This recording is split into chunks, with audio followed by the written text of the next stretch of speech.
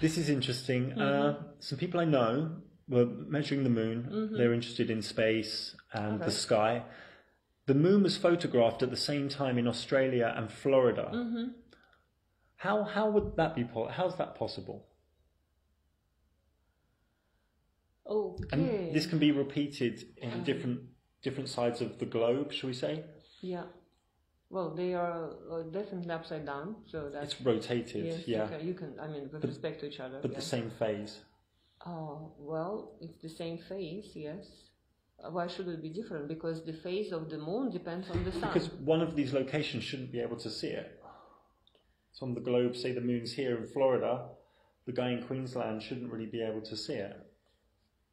But this is a full moon, close to the full moon. Close to full moon. So this means that there is an angle at which it's seen. So uh, full moon means that the su- uh, Earth, Opposite. yeah, the moon is opposite Yeah. to the sun. Yeah. But still, with the globe, with the Earth being a globe, it, Mm. it, it shouldn't be able to see them both at the same time. And this is uh, being repeated. This is an anomaly that Well, some if- people if can't work if, out. If somebody does it, so it's possible. I, for me, it's like this, you know. You cannot say me impossible if somebody does it. Sure. So then I say it's possible, and then you can ask why it is possible. Then I do calculations. Yeah.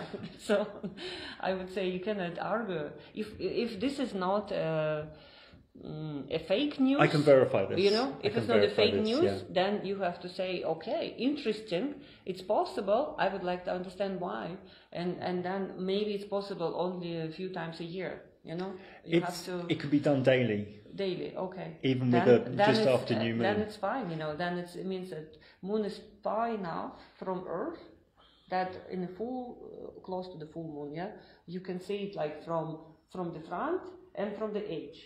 But in uh, in the model, there's a model software called Celestia. Yeah. Yeah, you know Celestia. I Celestia. don't know. Yeah, there are many. It's a mod. Yeah, there's many. Yes, it's a 3D yeah, yeah. model of the solar Yeah, yeah. system. When you put this date and time in, Mhm. you shouldn't be able to see the moon from both places. So there's a problem somewhere. So probably model is wrong. I'd say.